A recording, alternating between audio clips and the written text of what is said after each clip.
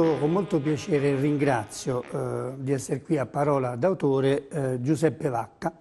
che è venuto a parlarci del suo ultimo volume, eh, dal titolo Vita e pensieri di Antonio Gramsci 1926-1937, edito da Einaudi. E non credo che Vacca abbia bisogno di eh, parole di presentazioni. Eh, dirò soltanto che attualmente è presidente della Fondazione Istituto Gramsci di Roma eh, e della commissione scientifica eh, dell'edizione nazionale degli scritti di Antonio Gramsci. Notissimo storico del pensiero politico, nel corso di parecchi anni, di molti anni, ha dedicato eh, vari eh, contributi a molti studi a Gramsci, sicché eh, possiamo senz'altro dire che è uno dei massimi esperti del profilo del rivoluzionario sardo e del suo pensiero. Eh, in questo suo ultimo volume ricostruisce in modo del tutto rigoroso, eh, direi passo passo, eh, come recita il volume Vita e pensieri eh, di Gramsci, dal momento del suo arresto avvenuto nel 1926 fino all'istante della sua morte eh, nella primavera del 1937 e lo fa con un accuratissimo e assai perspicuo uso delle fonti, essenzialmente ma non solo il carteggio gramsciano consegnato eh, al corpus delle lettere e gli scritti di Gramsci eh, invece contenuti nei quaderni del carcere. Lo scopo, scrive Vacca nella sua eh, prefazione, eh, cito, è stato quello di fondere in un unico racconto gli affetti privati e la vicenda politica di Gramsci. Eh, naturalmente questo ehm, nel tentativo di dar conto di tutte le molteplici dimensioni della questione. Eh, ne esce un quadro intellettualmente, politicamente, culturalmente e umanamente ricchissimo, eh, del quale c'è impossibile naturalmente dar conto nel breve tempo che abbiamo a nostra disposizione e non resta senz'altro eh, che invitare i nostri ascoltatori a leggere il volume. Proviamo comunque ad estrarre alcuni temi. E allora innanzitutto, Bacca, una prima questione. Due figure, ognuna eh, di loro di per sé eh, d'eccezione, assicurarono il rapporto del carcerato Gramsci col mondo esterno e col suo partito, il Partito Comunista Italiano. Sono la cognata eh, Tatiana Schucht e lo studioso Piero Sraffa. Ora sono un collegamento, sono anche però un filtro e tu indaghi molto da vicino eh, modalità e limiti di eh, questi tramiti. Eh, sono un collegamento scelto dallo stesso Gramsci, perché subito dopo l'arresto, eh, avvenuto l'8 novembre del 26, lui fu spedito a Ustica eh, al confino e poi 17 giorni dopo fu spiccato un mandato di cattura, cominciò la serie dei processi, ma già a Ustica per il tempo che, breve tempo che lui spese individuò in Tatiana Schucht, che era sua cognata, la sorella di sua moglie, che era diventata la sua collaboratrice nel, da meno di un anno e riconosciuta anche dagli altri compagni come una specie di segretaria, e eh, in Piero Sraffa, i tramiti da lui scelti non solo perché godevano della fiducia sua e dei suoi compagni, ma anche perché non ne aveva altri possibili, in quanto sul continente, come avrebbe detto nella sua lingua sarda, non viveva nessun altro familiare e quindi la cognata invece sì, che era al tempo stesso funzionaria dell'ambasciata, eh, parente che quindi poteva accedere facilmente a lui, e Sraffa che non era ancora emigrato a Cambridge in Inghilterra dove si trasferì l'anno dopo perché perseguitato dal fascismo e quindi ebbe riparo presso Keynes. Tramiti. Diventano qualcosa di più quando dopo la condanna di Gramsci avvenuta il 4 giugno del 28 a una, una, lunga carcerazione ed essendo una preda Gramsci assai ambita nelle mani di Mussolini ed essendo il capo del Partito Comunista peraltro eterodosso e già in disgrazia presso l'internazionale eh, Togliatti centralizzò diciamo, il traffico epistolare delle informazioni che arrivavano a Gramsci e che partivano da Gramsci e quindi eh, Tatiana per un verso che era in contatto diretto con Gramsci e riferiva a Sraffa e gli trasmetteva la corrispondenza quasi sempre in codice perché passava per due regimi di censura, quello fascista e quello sovietico. E Sraffa che poi andando e venendo da Cambridge in Italia tre, tre, volte, tre o quattro volte l'anno, passava per Parigi, andava al centro estero e riportava queste lettere quasi sempre corricopiate da Tatiana in copia, ehm, divennero eh, diciamo, i, i, i tramiti che consentirono a Togliatti di gestire, a Togliatti, a Togliatti, certo, di gestire questa complessa certo. vicenda del prigioniero. Bene, due questioni cruciali dominano, mi pare si possa dire, il volume che hai scritto e che sono due questioni eh, certamente intrecciate, distinte ma intrecciate, su tu, su, sulle quali tu getti una nuova luce, eh, facendo giustizia di molti pressappochismi e di molte letture anche interessate e fuorvianti che sono state date. La prima è la questione dei vari tentativi eh, messi in atto per liberare Gramsci. Eh, l'essere tramite di questi tentativi fu uno dei compiti più sofisticati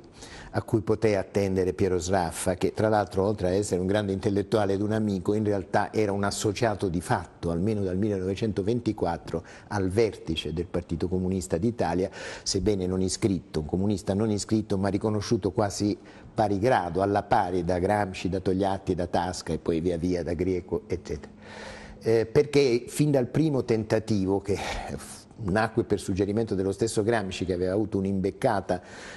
nel carcere di San Vittore a Milano nell'estate del 27 che il Vaticano poteva intermediare uno scambio di prigionieri, chi recepì il messaggio e lo trasferì al partito fu Sraffa, così come fu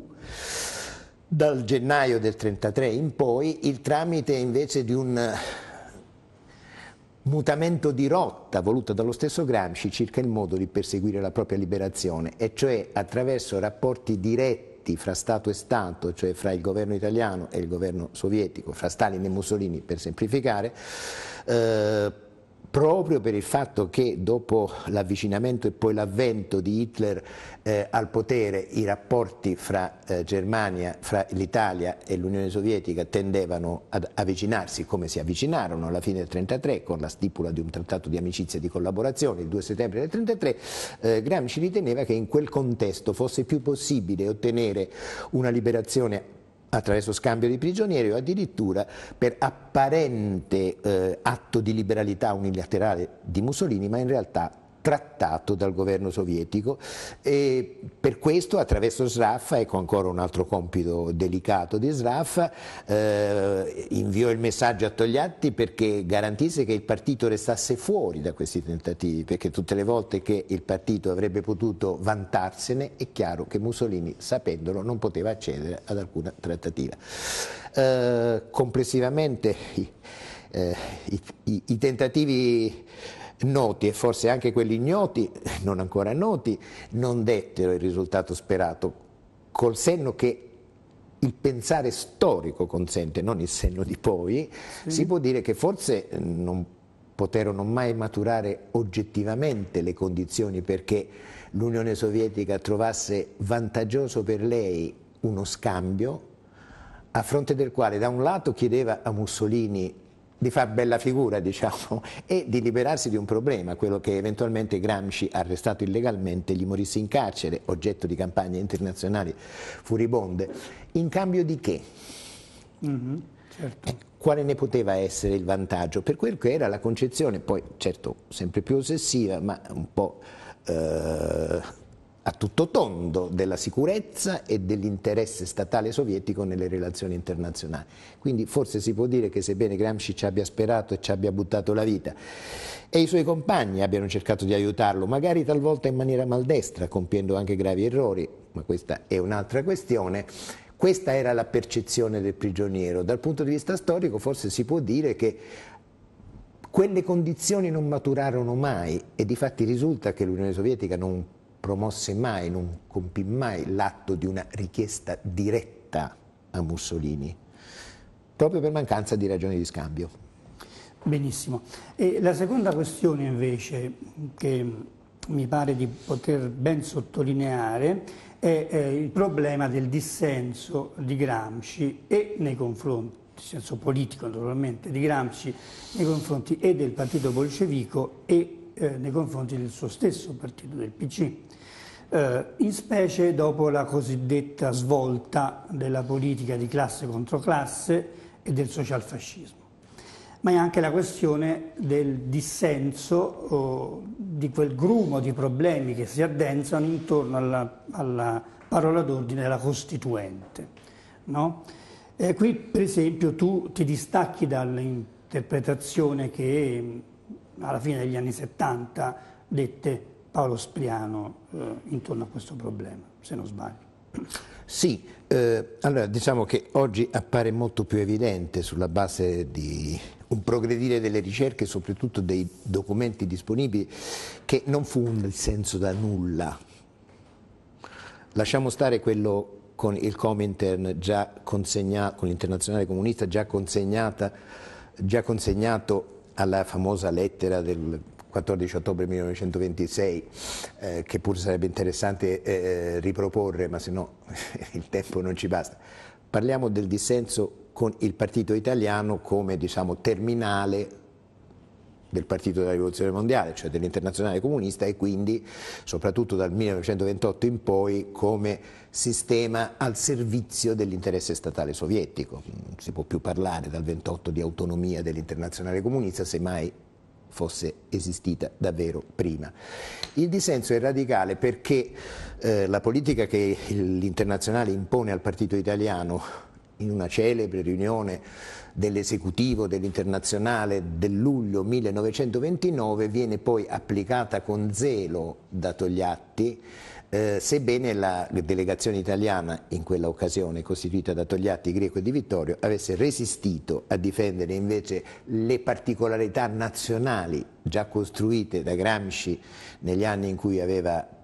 dato vita al nuovo indirizzo e alla nuova linea politica del partito tra il 1924 e il 1926 circa il modo di combattere in un paese che unico in Europa all'epoca era in presenza di un regime totalitario fascista e quindi senza condizioni minime di eh, legalità. Ehm, la svolta del Comintern significa una lettura della fase che Gramsci respinge in toto, e cioè la crisi del 29 è il preannuncio della crisi finale del capitalismo. Non ci sono tappe intermedie, non ci sono alleanze che tengano, il problema è prepararsi all'insurrezione anche in Italia, anche in Italia. È ovvio che Gramsci rigetta in blocco questa prospettiva. E è piccato con i suoi compagni non perché non capisca la necessità di subirla, ma perché è critico verso il modo troppo tra virgolette, zelante di applicarla, ma soprattutto, e questo è il vero nodo, perché Gramsci ha una visione del fascismo, sviluppa un'analisi del fascismo che è inibita dopo il 1928 ai comunisti, al PCD, al gruppo dirigente del PCD fuori del carcere eh, e ne segue, non è vero che non fosse informato, leggeva di tutto, poteva leggere di tutto, eh, ne segue attentamente le divisioni interne, le oscillazioni e quindi ha un'idea di come si possa fare politica contro il fascismo insinuandosi nelle sue divisioni, anche facendosi forte del fatto che un partito comunista era pur sempre il terminale di una grande potenza verso la quale il fascismo italiano aveva una molteplicità di interessi divergenti e convergenti. E quindi è Gramsci, quel Gramsci, sempre più critico delle semplificazioni che l'antifascismo internazionale e italiano è tenuto, è costretto, è capace di fare sì. e questo lo mette in grave dissenso, tanto da elaborare una parola d'ordine come quella della Costituente che propone nel carcere di Turi, facendo qualcosa che oggi eh, lascerebbe allibiti, eh, cioè il capo del partito, formalmente ancora il segretario, che in un carcere fascista dice chiaramente ai suoi che la politica del partito fuori e la politica dell'internazionale è sbagliata, mette a repentaglio durissimamente, drasticamente la sopravvivenza del partito stesso. Non è che Gramsci non lo sapesse certo, come certo. si facevano e si disfacevano i, i, i partiti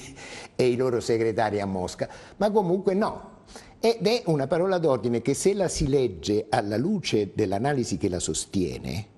non c'è bisogno di pensare che sia una ripresa della parola d'ordine dell'Assemblea repubblicana del 24-26, perché è sostenuta da ben altra analisi che corrisponde ad una ben altra fase dell'economia, della politica e della storia mondiale, quella grosso modo che comincia nel 29. Molto chiaro. Senti, io eh, ti ringrazio molto di essere venuto qui a parlare di questo tuo volume che, se non sbaglio, mi dicevi prima, è arrivato alla terza ristampa in pochi mesi eh, e ti chiedo un consiglio di lettura. Ma eh, sta, stiamo in argomento. Sì. Eh. Eh, nell'ipotesi che chi ci ascolta sia invogliato a leggere questo libro, forse può essere sollecitato a leggerne un po' di antefatti e cioè una storia della vita e del pensiero e dell'azione di Gramsci quando era uomo libero almeno dal 1914 al 1919, perché è il periodo sul quale esiste ormai un bellissimo libro di storia che credo voi abbiate anche presentato, è di Leonardo Rapone, certo. si chiama Cinque anni che sembrano secoli, è edito da eh, Carocci e io lo raccomando con tutto il cuore. Benissimo, allora avevamo visto giusto. Grazie ancora. Grazie a voi.